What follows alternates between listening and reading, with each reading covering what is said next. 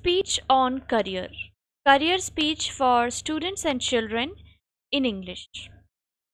Respected Principal, teachers, and my dear friends, a wonderful morning to all of you. Today, on this special occasion, I would like to speak some words on the topic career. A career is a job or profession that a person is engaged in. It can be anything from an engineer to a sports person.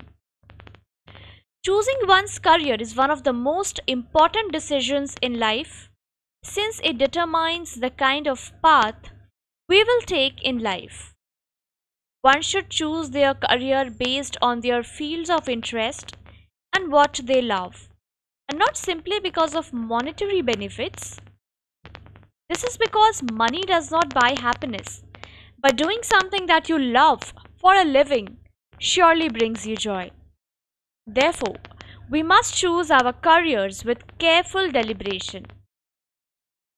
To conclude, I hope one day we can all have the careers that we now dream of. Thank you for listening to me so attentively.